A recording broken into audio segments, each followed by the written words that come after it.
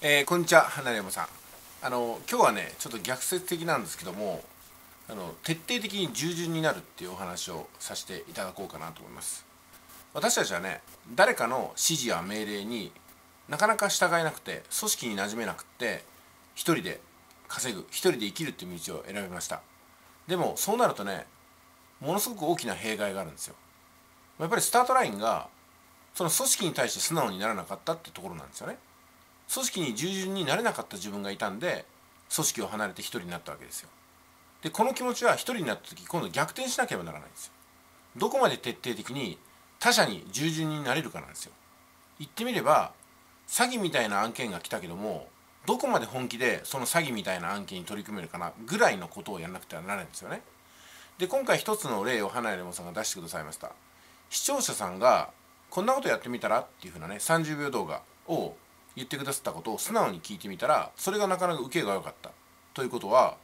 実はねこの視聴者さんの方がレベルが上だったってことなんですよ。でもおそらくいまだにですねいや言うことを素直に受け入れた自分の器が広がったんだよっていうふうに自己肯定感を強めてると思うんですよね。でこの繰り返しが行き詰まりなんですよ。いやまだね花山さんこんなことをやってみたらどうですかって言ってくださる方がいるうちはいいですけどもいやでもねやろうと思うんですけどもこうこうこうなんですよって言った瞬間その人は二度ともうね花屋龍馬さんにアプローチをしなくなります。要するに一人の師匠を失うわけなんですよ。そしてその方はですねその貴重なアドバイスを今度は他の人に持っていきます。他の行動できそうな人に持っていくんですよ。その繰り返しが起きてきますね。でコミュニティに試しに入ってみるっていうのはどういうことかっていうとそのコミュニティにどれぐらい従順になれるかどのぐらい自分が自己否定感を持ってね底辺に自分を押し合って何でも学ばせてもらいますと。そしてどんな無意味なことからでも意味を取り出してみせます。みたいなね。むしろ私がコミュニティに入ることによってそのコミュニティの信頼が上がりましたよね。って言えるぐらいの活動ができるかどうか。っていうふうなところなんですよ。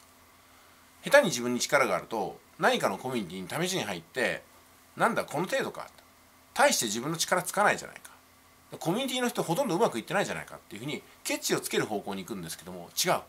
新しいコミュニティに入ることによって無活動同然だった先輩コミュニティの会員さんたちも自分の活動でどのぐらい引っ張っていけるかなっていうふうな自分のミッションとして捉えられるかどうかっていうことを試すためにも私は新規のコミュニティにポンポンポンポン入ってみるってことは次のステージの穴を広げるためにねこれ必須だと思うんですよ。で今回サウナに行ったという話をされてました。私も実はねサウナに通っていました。今はこの自宅周辺にサウナがありませんので行けませんけども都市部に行った時は歩いて5分ぐらいのところに大きなスポーツジムがありましてそこでサウナに入っていたんですよね。筋トレを1時間した後熱いサウナに入ってサウナから出て水風呂にギュッと入ると。そうすると筋肉が収縮して、まあ、いろんな新しい効果が生まれるんですよね。そして体が十分冷えた後すぐにまた熱いところに入ると。熱いところに入ってまたぐーっと汗をかいた後また水風呂に入る。ということを何度か繰り返してそしてサウナを後にするわけなんですよね。まあサウナの正しい入り方っていうのは何種類かあるんで私はパーソナルトレーナーをつけましたその時は。パーソナルトレーナーは1ヶ月10万円でしたけども徹底的にこの人に従順になってみようと思いましたね。もう全ての自分の知識情報を全部かなぐり捨ててこの方に従ったらどうなるのかなと。むしろ私が成果を出すことによってこのトレーナーさんの格を上げてやろうという気持ちでねやっていきました。ですんでイエスしか答えなかったんですよ。何を言われてもイエスでした。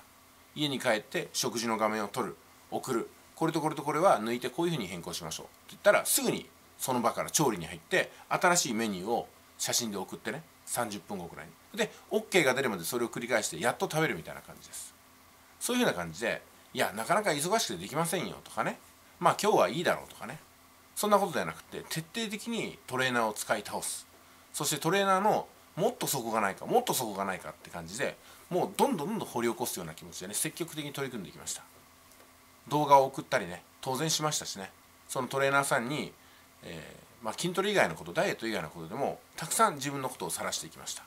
もちろん私の YouTube チャンネルもお伝えして見ていただきました。そういうふうに腹の底からね靴の底まで全部相手に預けることができるようなそんなね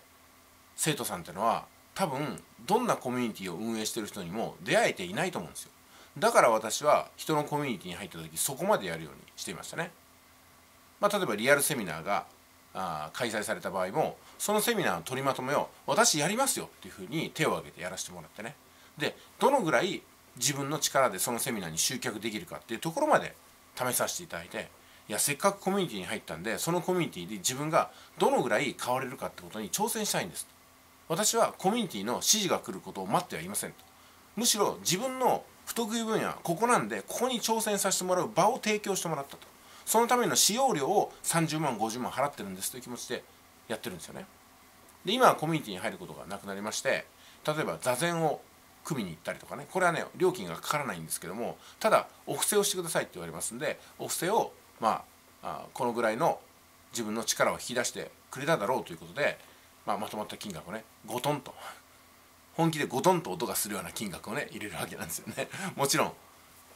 これではないですよ。コインではないですよ。まあそういった形でね自分を高めるのはどのぐらい自分が他者に対して従順になれるかっていう挑戦の証だと思うんですよ。まるでねあのまあヤクザの弟子になったみたいにね。もう白いものも白い。黒いものは黒いとね、うん、白いものを黒いと言ったら黒なんだって言えるぐらいのことをね。それこそしましたね。まあそうすることによって私は自分っていう肯定感をかなぐり捨てて新しい自分に常に向かっていけるんではないだろうかと信じています。あのですからね自分が何者かになったような気がして誰からも教わらなくても大丈夫だってなった時はこれはもうねあの終わりなんでそこでゲームセットなんですよ、まあ、ですんで私は今隠居という立場です。んでねあの誰かに教わることは基本的にありません。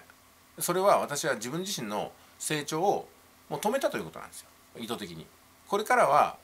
自分の培った能力を少しずつ使って消耗していって人生のなだらかな終局に向かおうというふうな感じなんですよね。まあでも全体的にはそうなんですけども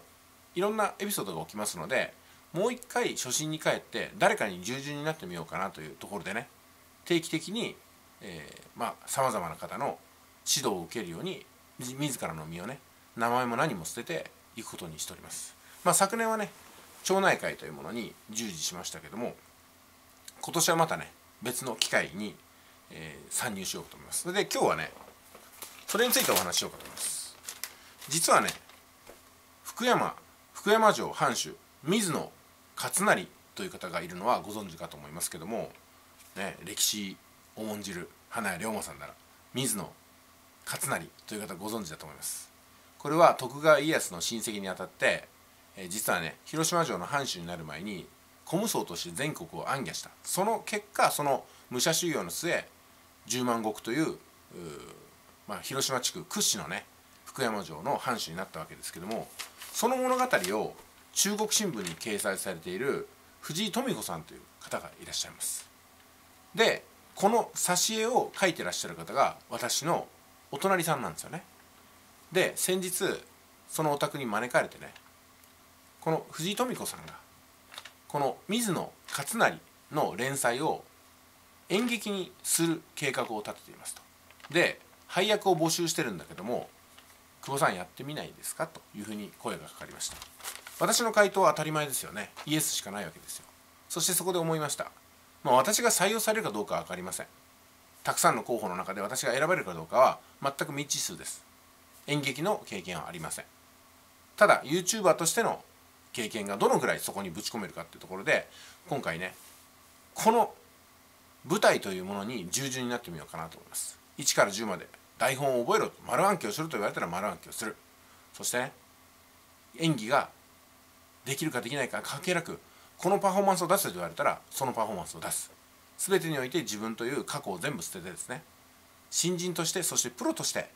演劇の舞台でまた花開かせようかなという気持ちで最大限トライしてみようかなと思いますよね。まあもちろん採用されるかどうか分かりませんけどもとりあえずスカウトを受けたということで第一段階は突破です。こちらから申し込んだわけじゃなくてやってみないかというふうに言われるような自分ではいたのかなと思いますんでね、えー、私はそういうところで今年は演劇に身を捧げてみようかなと思います。いってらっしゃい。